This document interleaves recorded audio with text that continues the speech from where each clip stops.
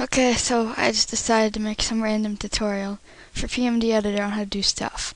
I'm too lazy to put annotations and Windows Movie Maker stuff, so I'll just do a voice tutorial. First, I guess I should explain the basic functions. I've been meaning to redo my first tutorial. But this only works with the older one. I have version version 4.45. The newer one has different options and stuff. I don't know how to use them. Anyway, first the main thing. This is the editor. This is where you can edit the bones and the polygons. Polygons are these little green boxes. Those are polygons. They make up the model.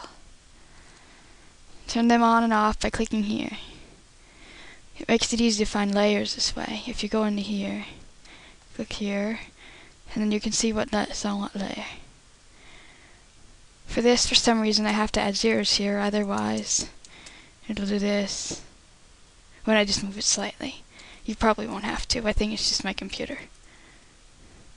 So you can highlight these, move them around with this. You have to be careful you don't make them overlap oddly, like randomly pulling out pieces or you'll get black lines, which aren't very pretty. This is the bone editing tab. Make sure to turn on the end bones, which is clicking here. Say these are end bones. Oops, I got a hand bone in there. You usually wouldn't see them, so some people don't realize when they don't delete them or move the other bones that it screws up the model. You can uh, move multiples at once, but when you press undo, of course. Of course, I forgot what I was going to say. Oh, it's a bit late, sorry. Anyway, so you edit bones. If you, like, shrink the hair or something.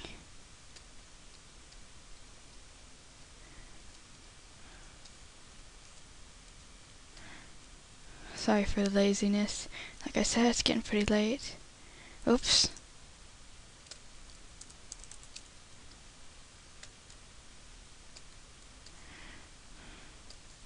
I put one too many zeros. Or maybe not. If you shrink it like this, you have to move the bones along with it, otherwise it'll glitch. But there's more.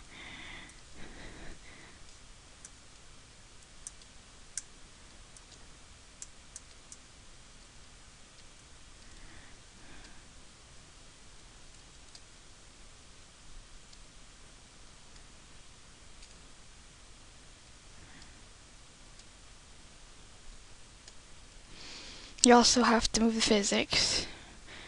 And to delete bones, you'd highlight them and do this. Of course, that's going to screw it up, so don't. Careful not to delete any body bones ever. You'll completely ruin the model. So, for physics, click these two boxes. See how the joints don't stay. You have to move them. Oops, you turn on the bones. You have to move them to stay with the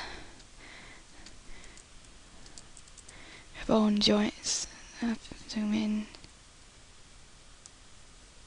Not working. What happened to the bones? I don't see them. Oh. It's easier if you turn this off. You don't really need those. They move automatically. Oops. I hit the microphone. Anyway. Moving it up. We go like this.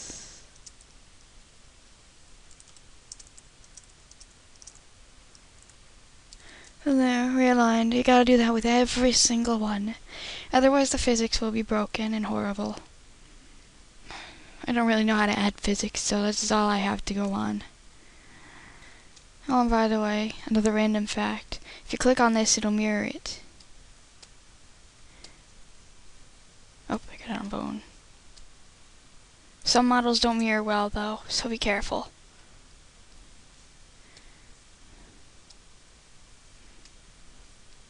Any other random things.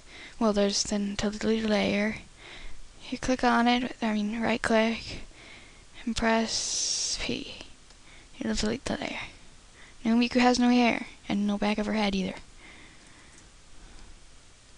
To save something as a new layer, like say, I want her tie on a separate layer so I can recolor it. Well, I don't, but if you did.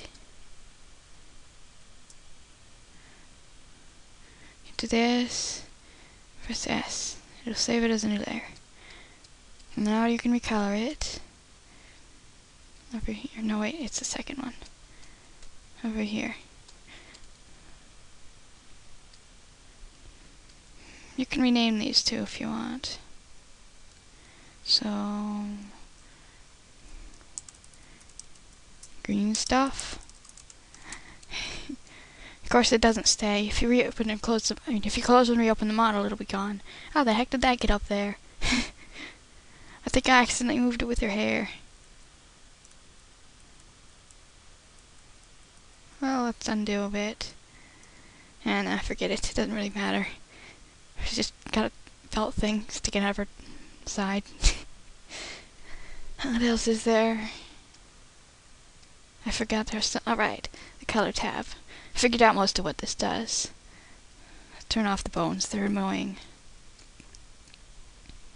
First, this is obviously color.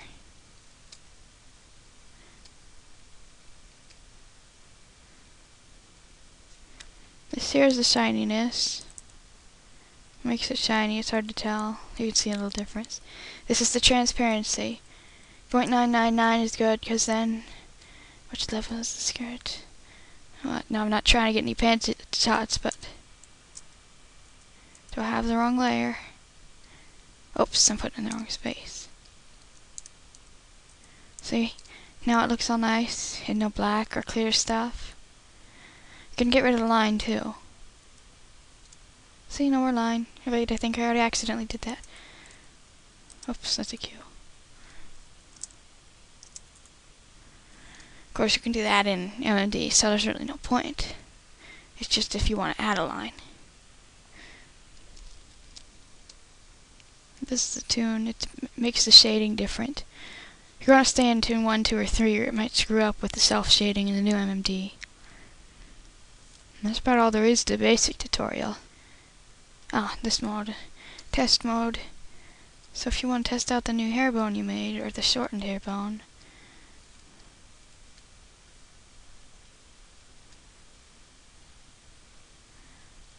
you can do that here.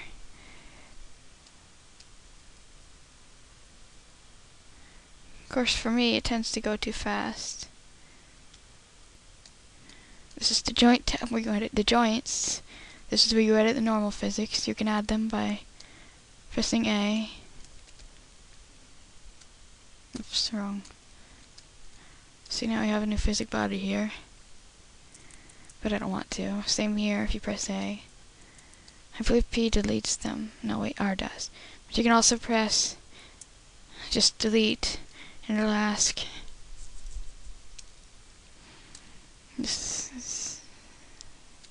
I don't remember. This has to do with adding IK bones, but I seem to have forgotten and I can't seem to remember how. These are the expressions. You can add one actually. Just press N. OneFM Pony has a good tutorial on this though. Then you just can do anything really. Forgiving your claws by like stretching the end of your finger. I really screwed up because I don't have it on layers. Even making her sleeves longer, let's see. Um,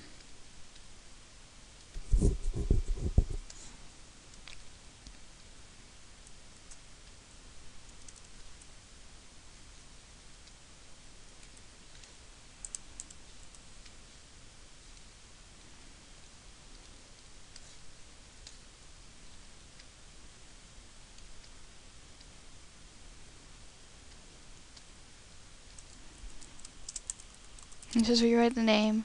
This one is I. Uh, I can't read the others. Uh, I think that says extra.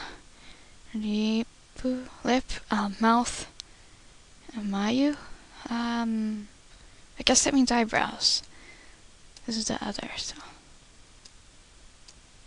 Oops, that meant keep editing. I don't want to keep editing.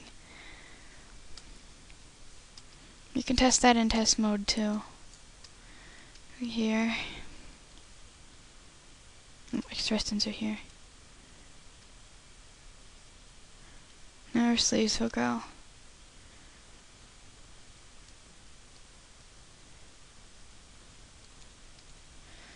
It's about the end of this tutorial for basic things. Though I guess adding expressions isn't really basic. Whatever.